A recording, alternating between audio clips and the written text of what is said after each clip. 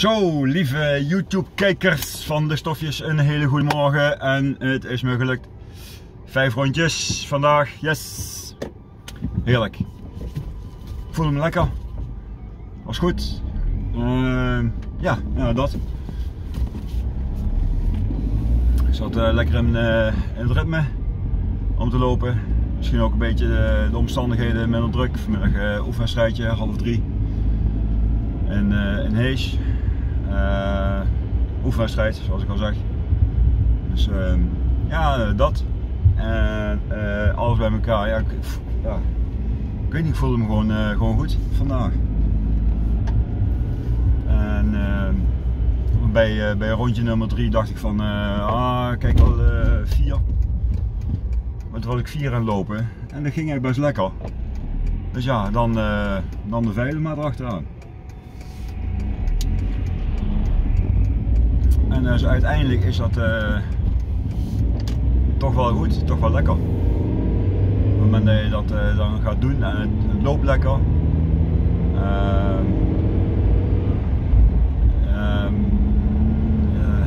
ja, heel, heel kort had ik een gedachte om misschien te gaan kijken voor rondje nummer 6. Zo lekker ging het eigenlijk.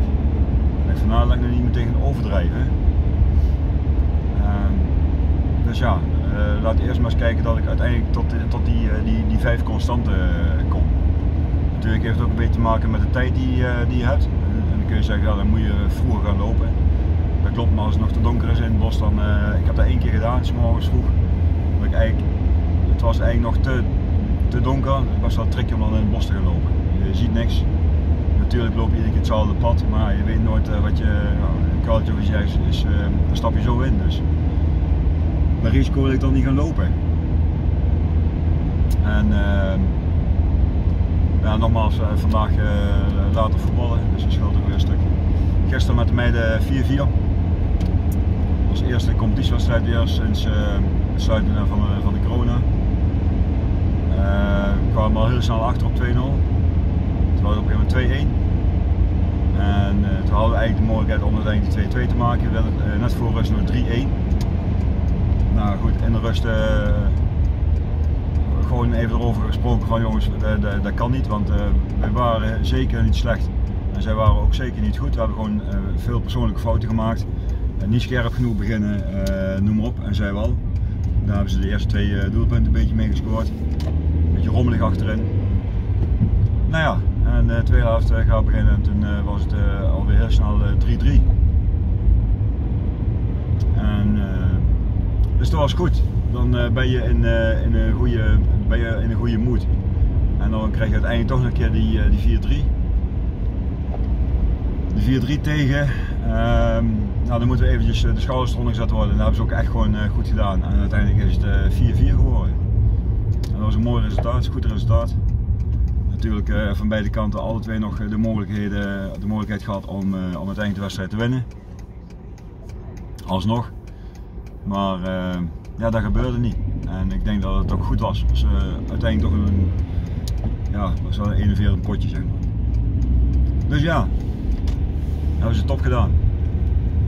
Ik heb wel het een en ander uh, nog doorgegeven of, of, besproken over het tweede deel van, van de competitie.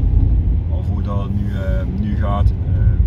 natuurlijk door het corona- en quarantainegevallen zijn er natuurlijk ook mensen bij die ja, ze in quarantaine, toen mochten ze niet voetballen. Nou, die regel is nu wel afgeschaft, gelukkig.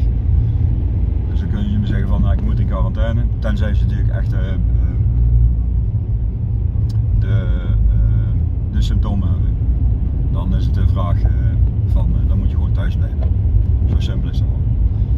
Maar heb je geen klachten, dan kun je natuurlijk gewoon komen trainen. En ik heb ook gezegd van jongens, we moeten als we iets willen, dit groepje kan veel meer dan wat ze nu laten zien. Maar ja, dan moeten ze wel komen trainen. Want uh, er is uh, geen speler, er is geen één sporter die zonder training resultaat kan halen. Dat is er gewoon niet. Dan kun je zeggen van ja, maar nee, die is er niet. En dat is, ja, dat is soms wel eens lastig natuurlijk, want weet je, ze doen het allemaal voor hun plezier. Maar er zit er zit gewoon best wel wat potentie in die groep. met betrekking tot, tot voetbaltechniek. en ja, die wil, ik, die wil ik dan wel een beetje gaan, gaan proberen uit te breiden. Maar ja, daar moeten ze wel voor gaan. En om dan een, een verschil te maken dat één iemand die zit een boksel op school en die, is gewoon, uh, die, die redt het gewoon om alsnog te komen, te komen trainen. En de andere zit in Nijmegen op school. Zou in principe ma makkelijk kunnen redden. En die zegt gewoon steen van ik heb druk met school. Dus ja, dat is een beetje het instellingsmomentje. En ik heb dat gisteren nog een keer aangehaald. Dat ik dat best wel jammer vind dat het zo gebeurt. Dus we wachten af wat er nou gaat worden. Ik hoop in ieder geval dat er per training steeds meer, of dat er meerdere komen in plaats van 6 tot 8 personen. Dus dan uh, ja, is gewoon lastig om daarmee te trainen. Dus ja. Uh... Nou, dan was het weer een kleine korte zondagpraatje. Ik zou in ieder geval zeggen van uh, als, het, uh, als je ervan genoten hebt en um, even, het zijn korte stukjes, dus heel veel andere praten zo kan ik, doe ik er gewoon niet bij. Ik ga het niet heel lang maken. Dus ja, het was weer, was weer een kort praatje.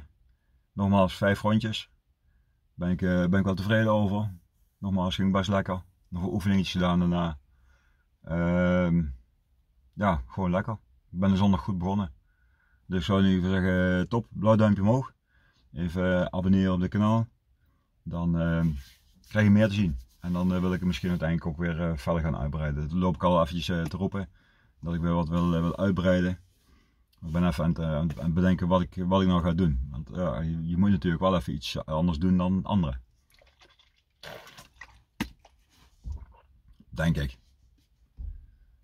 Maar goed, voor uh, vandaag in ieder geval uh, genoeg. Nogmaals, blauw duimpje omhoog, even abonneren op het kanaal, de stofjes. En dan uh, zien we volgende week weer terug. Ik zou zeggen, ciao!